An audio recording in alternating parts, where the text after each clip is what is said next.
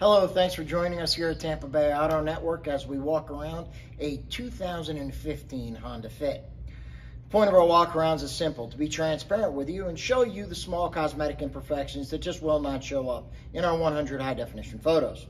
If you're on our YouTube page and like to see our photos, look at the description below. We provide a link for it. Also, like, subscribe, and give us a comment because we appreciate those on our inventory.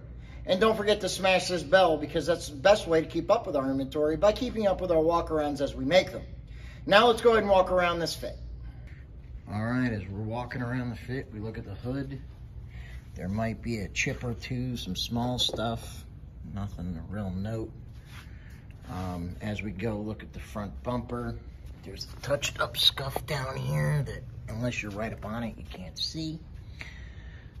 And then we go down the passenger side. The fender, both doors and rear quarter look great. No cosmetics there to show you.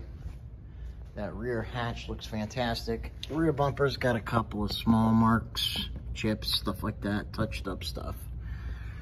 All very minor, and when you back up, you can't see any of it. And then we come down the driver's side. The rear quarter does have a little ding here. And other than that, this whole driver's side, both doors and the fender look fantastic. Nothing really to show you there. Then the windshield looks good. So does the roof. No heavy scratches, dings, dents. Let's go ahead and take a look at the interior. All right. Looking at this black cloth interior, there's nothing really to show you. So I'm just let you get a quick look at the front and the back and the good shape that it is in. Remember to stay tuned. You'll be able to hear the engine running on the fit.